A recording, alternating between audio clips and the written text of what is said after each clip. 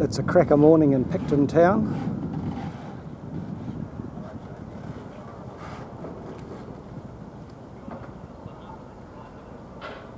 One of the inter-islander ferries is berthed.